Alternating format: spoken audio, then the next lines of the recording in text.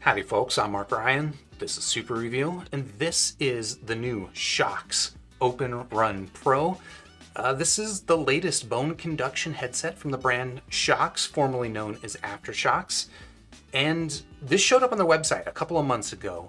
Advertising, it's got uh, ninth generation bone conduction, it's got turbo pitch technology, which probably sounds like a bit of marketing mumbo jumbo in terms of audio, but I was pretty interested in it for a couple of reasons. So, for starters, for the past five years, pretty much every single day, I use bone phones. 100% true. I'm a big fan of bone conduction headphones. But the other thing is that, okay, this re- this review channel that you're watching now, I typically review hi-fi audio gear, you know, in-ear monitors, headphones, stuff like that. And bone conduction's never really been hi-fi.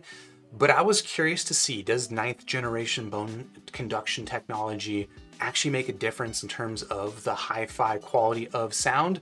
Not that that's necessarily what I'm looking for out of this, but I was really curious to check it out. So I've got the new Open Run Pro here for review. Now, uh, this review is gonna, you know, not focus just on answering that question about sound quality because like I just kind of alluded to, not my highest priority when it comes to bone phones, but I did want to take this opportunity to also compare the Open Run Pros to a handful of other Aftershokz or Shokz brand sets because I've got a few of them on hand and I figured might as well answer the question uh, which one should you get? Because this one, the new Open Run Pro, it's also, you know, it's the newest, but it's also their priciest at about 180 bucks.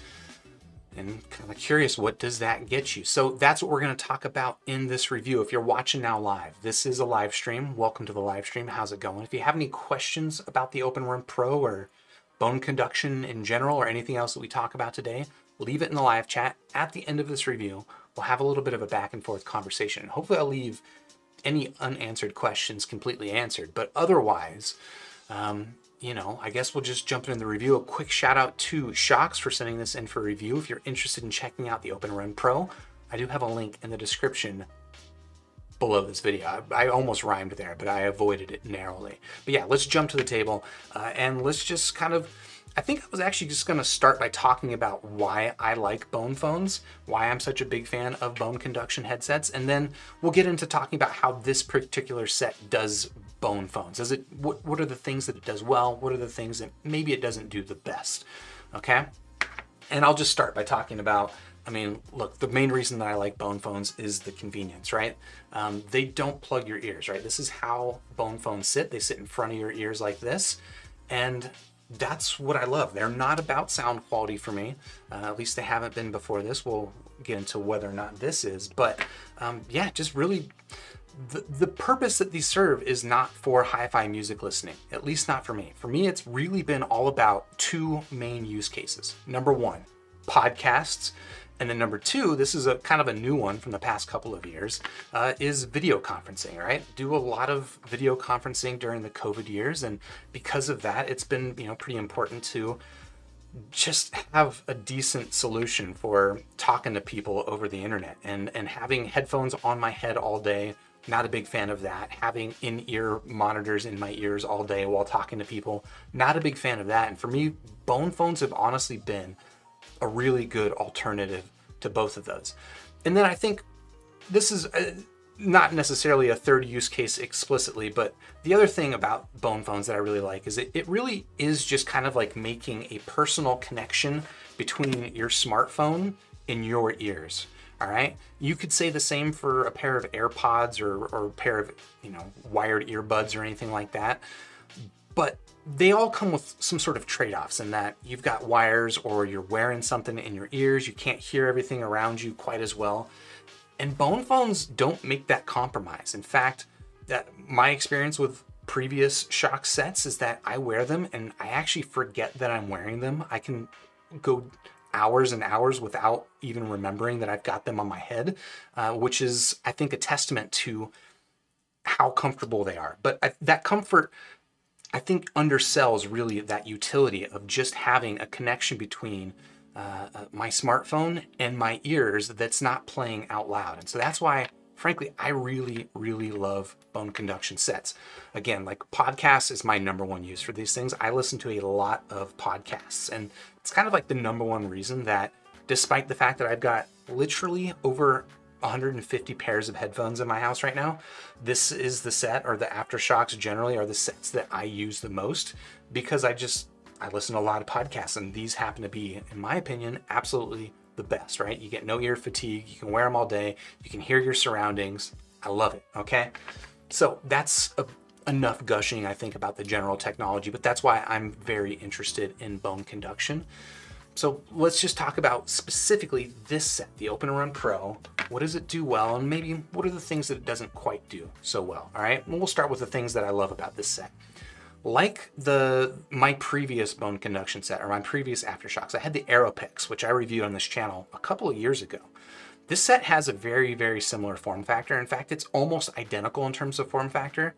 And for me, that's actually a good thing because the form factor on the Aeropex is fantastic and it's same here with the Open Run Pro. This set, well, I guess I'll throw it on my head. Uh, the shape that they've got with this set, just it fits really quite snugly. You can see that, you know, it kind of tucks in behind my head uh, comfortably. I, I, with some of the other bone conduction sets, like the, the headband can hang off a little bit lower and tap my neck. I don't really have that issue at all with this set. And um, just generally, like I mentioned, I can put these on my head and go hours without remembering that I even put them there. Uh, assuming I'm not listening to music or listening to podcasts or something like that. But they're just, they're comfortable. They completely disappear. The form factor is great. They stay in place. I love them for that. So, and I mentioned that the, the Aeropex before did that really well. These basically do it the exact same which I'm not mad about. These things are great for that. Uh, what else can I say? A battery life on these things is generally very, very solid. Uh, I was already pretty happy with the battery life on my Aeropex. Um, that was about eight hours of battery life. Here with the Open Run Pro, they've upped it to 10 hours of battery life. Now, I can't really say that I notice a big difference because the battery on my, you know, my Aeropex is already pretty good. I tend to charge these things a couple of times a week, given how much I use them. And, you know, uh, the extra hours of battery here, I'll say that I'm glad that it's there, but I didn't totally notice it. Like it didn't transform the usage of it. Although if you're using these for a long day at work or something like that, that extra two hours might make a significant difference. Um, another thing that I really like about the set, and again, this was also true with the last couple of Aftershokz sets, is I love that they have this button over here on the outside of the headphone which uh, might not seem that important. You, of course, you've got to have buttons on the thing, but what I really like about having the button here, no joke, is that I can reach over with my shoulder and hit the button. So that just kind of gives these things an added utility when I'm out in the backyard doing chores or I'm doing dishes or something, my hands are full. Even if like I'm like working in the garage, maybe they're dirty and I don't want to reach up and touch them, I can just kind of do that and toggle pause play. Ostensibly, you could accept and reject phone calls. I've I don't take phone calls, so uh, haven't tried that, but there you go. Uh, yeah, that just honestly gives them a unique utility, um, being able to do that that some other bone conduction sets don't let you do, and that's the thing that I've always appreciated here about the the the Shokz. Or well, they used to be Aftershokz, now the Shokz. I'll get used to that name one day. So I like that. Um, other thing I like about the set is that it is sufficiently water resistant. Um, they don't claim waterproof. They claim some sort of you know water resistant IPX. I forget exactly, uh, but it's basically enough that I don't worry about these things at all. I'll, you know, I'll walk in the rain with these things. Don't sweat it. If I'm out working out and sweating, don't sweat that either. Yeah, I, I honestly just don't really worry about the water resistance of these things, and that's been true of a lot of the the Aftershokz stuff in the past as well. And then the last thing I'll say that I like about these things, in, in terms of sound quality, for podcasts is actually outstanding. It's great. Like, you know, podcasts are typically not recorded with the highest quality microphones or anything like that, but um, you do want to get a set that is going to at least sufficiently represent the mid range, right? You don't necessarily need a lot of low end on a, a, set to listen to audio podcasts. You don't need a lot of high end, but you do need a nice, clean mid range. And the, the, the Shokz Open Run Pro, I would say they do that sufficiently well. Um, that said, and now we'll get into starting to talk about the things that maybe I don't love about the set. We'll, we'll get into the audio quality, okay? Uh, what these things, in my opinion, still don't really do very well uh, is audio quality for music. We'll talk a little bit more about how these compare directly with some of the other Shokz offerings and talk about whether or not this is a, a significant upgrade, but The short version is that I, I, really don't think so. I really don't think the ninth generation turbo pitch, whatever words they want to throw at it, has really significantly changed how good these things sound with something like high high fidelity music. Um, in my in my mind, these really just are a podcast, audiobook, communication device. You can listen to music if you want, like background music, they're fine for. But if you're looking for, you know, just really intensive analytical listening, this is definitely bone conduction in general is just not the technology for you. Um, okay, so that's one thing that maybe I'm not super enthused about with this set. The other thing is that, well, here's this button, and I already mentioned how much I love this button. Uh, a comment I had for the last set was that I wish that they actually made it bigger because I talked about that that shoulder motion. I wish it was a little bit easier. Uh, they didn't make the button any bigger. In fact, it's pretty much the same size as it was with the, the, the Aeropex. So uh, I wish that they would make a change there. And then while we're on the topic of buttons, these are very small complaints to be perfectly honest.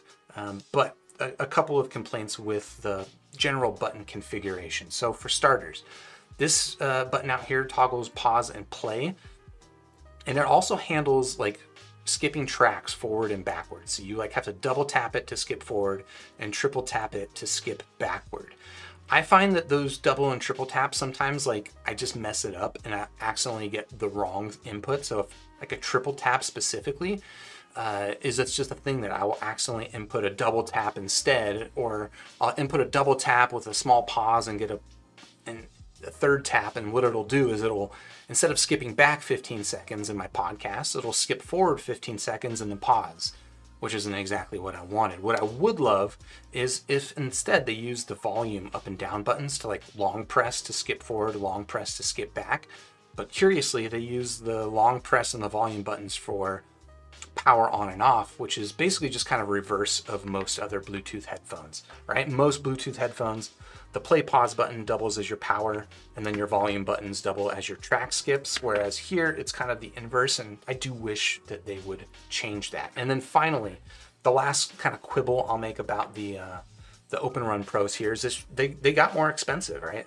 Aftershokz have never been the cheapest bone conduction sets on the market, but in my experience, they have been the best.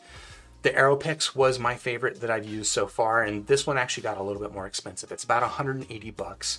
And we'll talk about how that compares to some of the other Shokz offerings um, in terms of price and whether or not it's worth it. But it is worth saying that the price went up a little bit, and that's not my favorite thing about it. So I don't know. That's uh, the the basic gist here with the Open Run Pro. Actually, one last thing that I should have mentioned when I was talking about the battery life, and this is going to be kind of a pro or a con, depending on your personal preferences.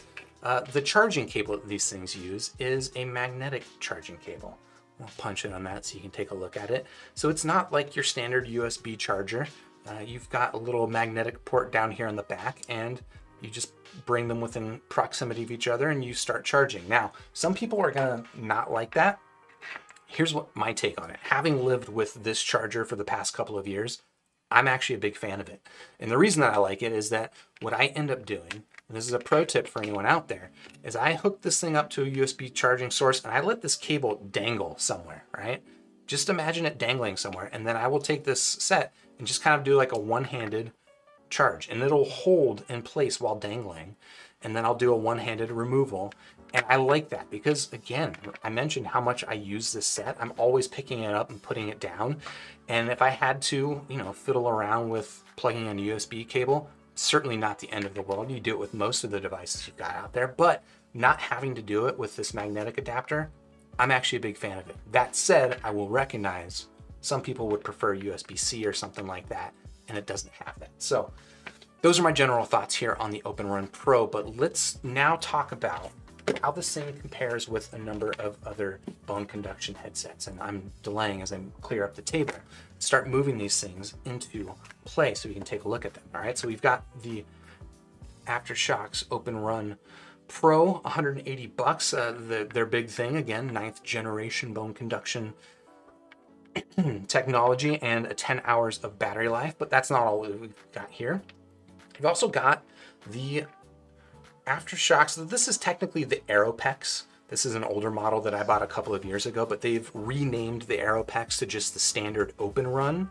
So this would be the new Open Run. This is the Open Run Pro. This is a little bit cheaper of a model, 130 bucks.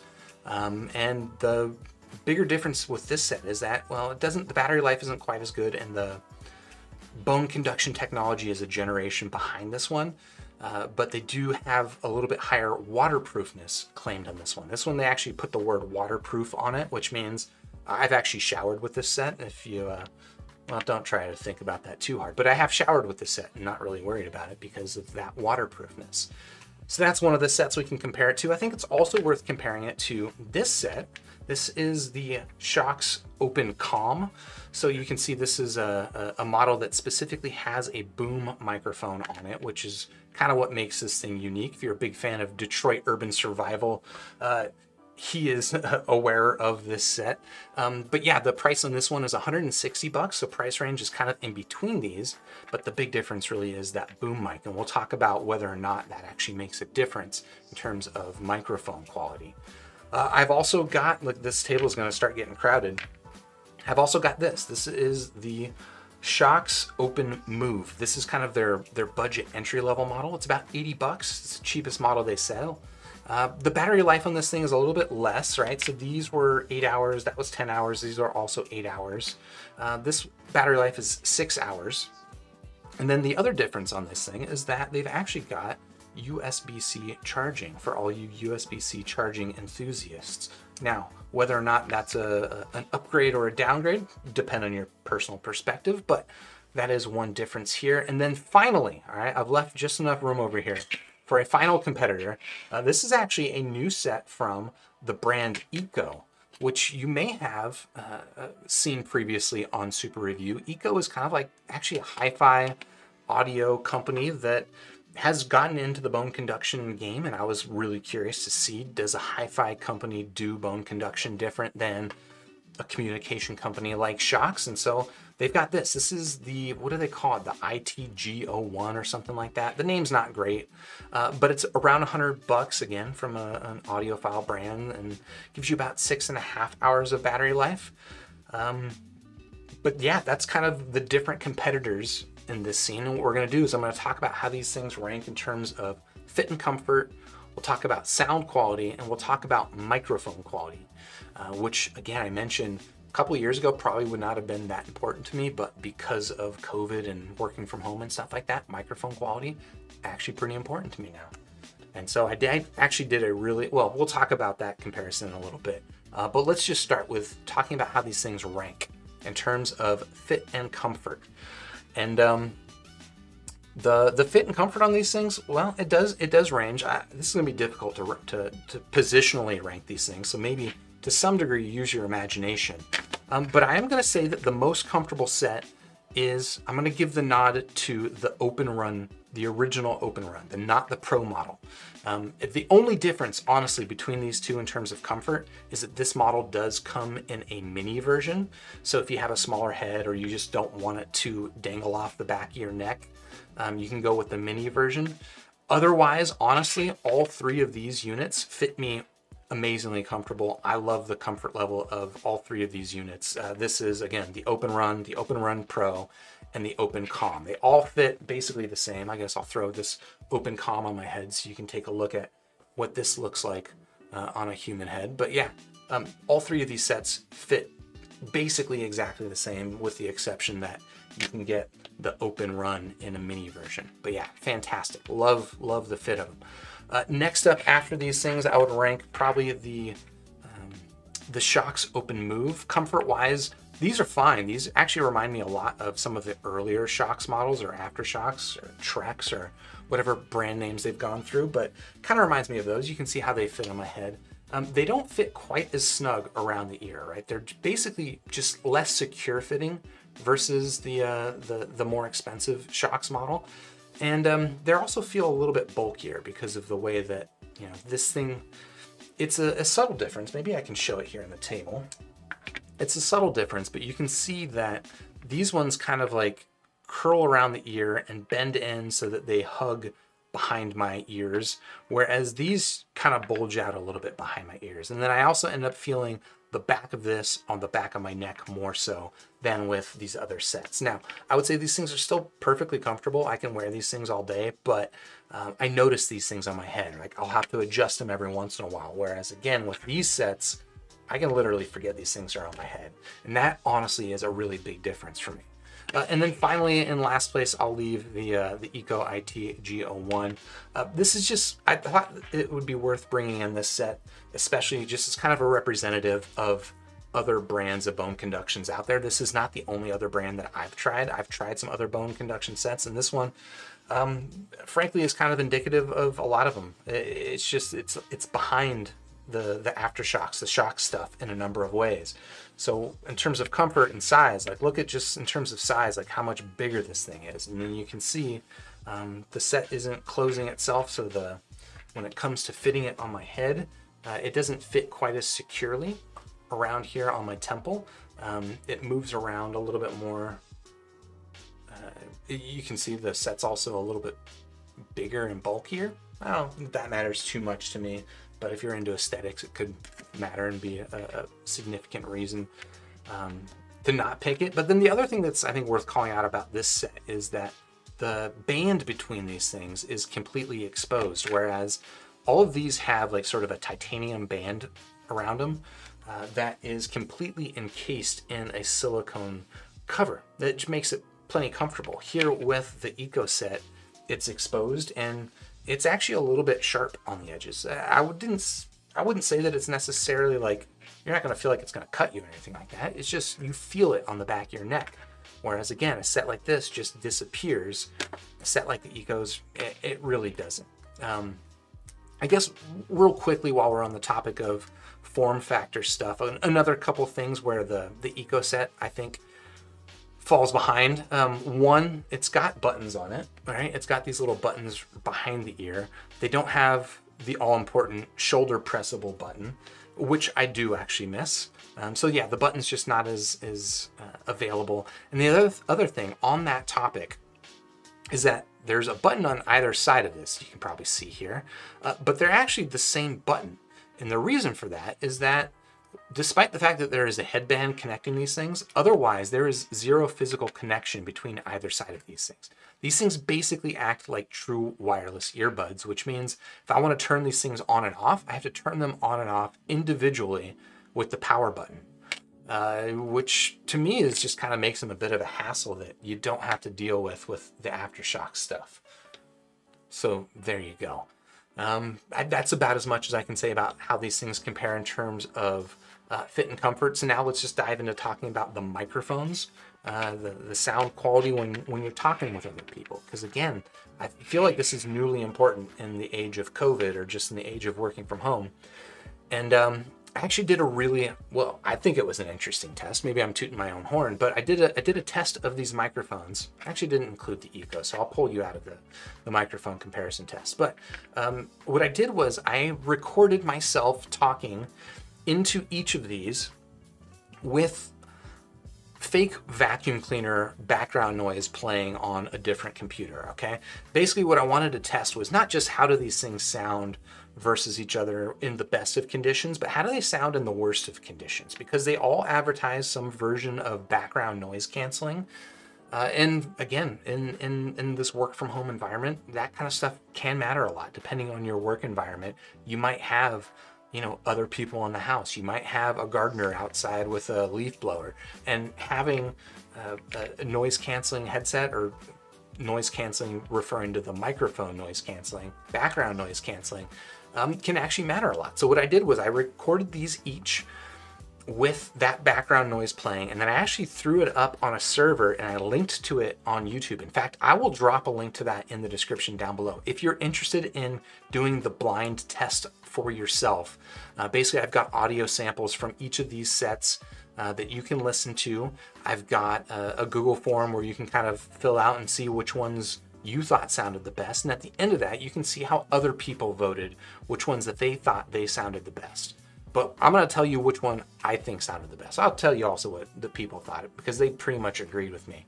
Um, when it comes to sound quality from the microphone, maybe it's not a surprise, but I was kind of curious to see if it would be true. The best sounding set is this one. This is the Shokz Open Comm, right? So it's got the boom microphone. I wasn't sure if that boom mic would actually make a big difference.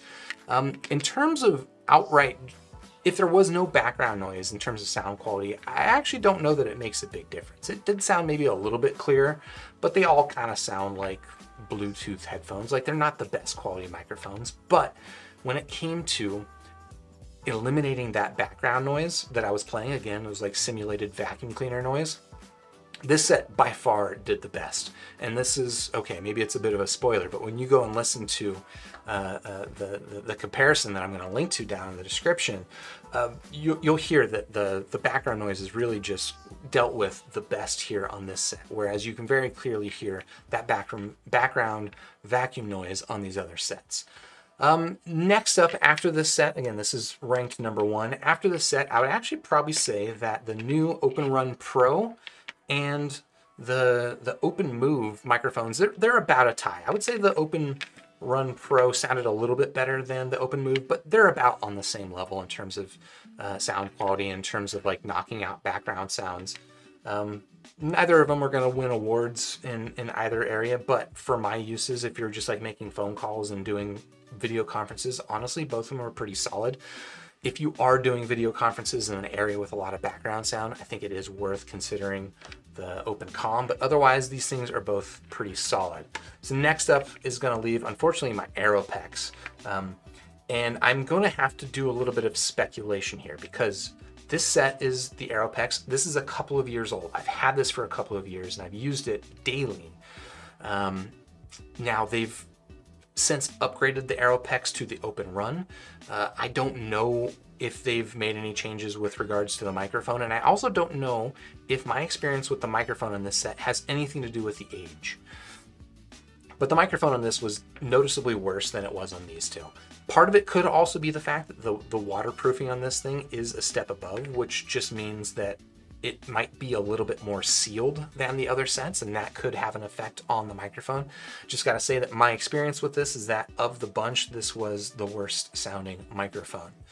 Um, so yeah, that would be how I'd rank these things, right? In terms of microphone quality. Uh, shocker, the one with the big microphone actually does sound better. Okay, so that's how they rank in terms of microphone sound quality. Let's talk about how they rank in terms of audio audio quality, music and podcast listening. And mostly this comparison is going to focus on music listening because that's where most of the difference is, to be honest. But uh, we'll talk about uh, podcast listening because that's what's most important to me.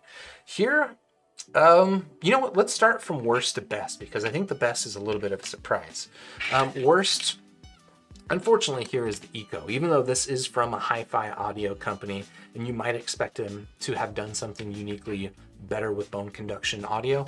Unfortunately, that's not really the case here with this set. Now, it does sound a little bit different. I would say that this set sounds thinner versus the Aftershokz stuff.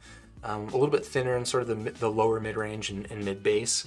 Um, it sounds maybe a little bit more like speakers playing rather than bone conduction sets. Uh, the biggest issues that I have with this thing in terms of sound quality, though, honestly, like the, the tonal balance is just different, but it's not necessarily worse. Where it is worse is when it comes to competing with background sounds, right? So outright volume on the Ikko is unfortunately significantly lower than the outright volume on the other sets. And that's important when it comes to bone phones because your ears are not plugged. So if you're walking next to traffic or something like that, all that sound's getting into your ears still, and you need to have a set that will get loud enough that you can hear over the top of it. Unfortunately, the Ikko really just doesn't do it. And part of that could be the outright volume, which is lower on this set. And part of it could also just be the, that tonal balance that I talked about, being a little bit thinner in the mid range. Well, there's a lot of vocal quality and a lot of vocal body in that lower mid range that unfortunately these things just don't do that well. So last place in terms of sound quality would be the Ikko ITG01. Uh, second to last, I would say, is the Shokz Open Move. Um, sound quality in these things, again, it kind of reminds me a lot of some of the older Aftershokz stuff. So perfectly usable, honestly, in terms of listening to music or sorry, listening to podcasts and YouTube videos and stuff like that, audiobooks, perfectly usable. But uh, it's it's in comparison to some of the other the the more expensive Shokz sets, it does sound a little bit more muffly, a little bit a little bit lower fi. Um, honestly, just purely on sound quality, I would say these are actually good enough for me. Um, the sound quality would not be the main reason that I would get one of the other sets. Uh, I would get one of the other sets for the comfort level much more than the sound quality, but when you are comparing the sound quality, this set is decidedly a, a step behind the other sets. Okay, so that's that. Next up, I would actually say that these two sets, the Open Run and the Open Run Pro, sound about the same to me. So this whole video kind of started by talking about the ninth generation bone conduction technology that they've got here in the Open Run Pro. And in my experience, what it means is that these are maybe tonally a little bit fuller in the mid bass, maybe a little bit warmer in sort of that upper bass sound.